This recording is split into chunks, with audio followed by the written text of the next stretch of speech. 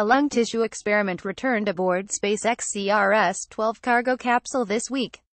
Credit NASA lung tissue samples grown on the International Space Station, which have just arrived back on Earth, could help researchers understand how space travel affects breathing. Little is known about how conditions in space affect astronauts' lungs, according to Joaquin Cortiella, director of the Lab of Tissue Engineering and Organ Regeneration of the University of Texas Medical Branch UTMB at Galveston.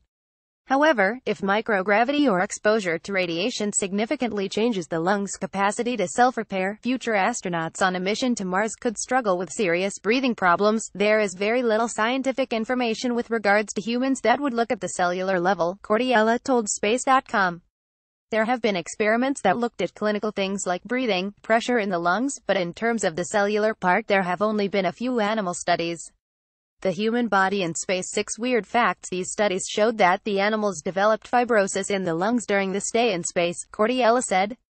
Fibrosis is a thickening of tissue typical for scars after injuries. Cortiella, together with his colleague Joan Nichols, a professor of internal medicine and microbiology and immunology at UTMB, developed an experiment to improve the understanding of what happens to lungs in space. The researchers created a set of samples of bioengineered lung tissue consisting of the so-called progenitor cells and stem cells that eventually form lung tissue growing on specially designed scaffolding made of collagen and elastin.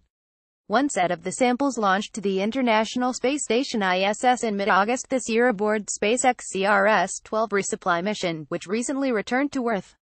The second set, a control group, remained at UTMB. They are very small pieces, about 3 centimeters by 3 centimeters by 3 centimeters, housed in small bags that act like little bioreactors supporting the function of these cells and keeping them alive, Nichols told Space.com. Periodically, we take some of the samples, remove some of the fluid, some of the media that surround the pieces of tissue so that we can look at the lung tissue, she added. Astronauts at the ISS have been doing the same. The experiment was designed so that both sets of lung tissue samples were held in the exact same conditions. The only difference was the space environment of the ISS. The ones that we have seen have grown and developed the way they were supposed to. They have grown into what looks like a small piece of tissue, Nichols said. The few pictures we received from the astronauts that are doing the experiment for us on the space station look very good, they seem to be prolific. At the end of the experiment, six of the samples returned to Earth for Nichols to study in detail.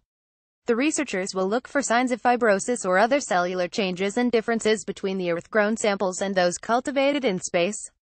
They will also look at the structure of the tissues and the activity of immune cells. Nichols said that understanding how the lung cells grow in space could help design methods to mitigate the potential adverse effects of space travel. Lung progenitor cells grew in a special framework on the International Space Station so researchers could compare how they developed in space and on Earth.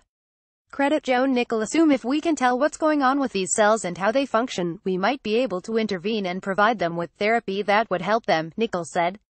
In the next stage, we will be using some nanoparticles that people could actually breathe, the same way you can breathe the therapy for asthma, she added. According to Cortiella, knowledge gained during the project could also benefit people on Earth with conditions such as asthma or cystic fibrosis. It will help us in terms of looking at what parameters or where in the cell cycle we need to target, Cortiella said. There is a very good applicability of this type of research in clinical trials. Follow us at space.com, Facebook and Google. Original article on space.com.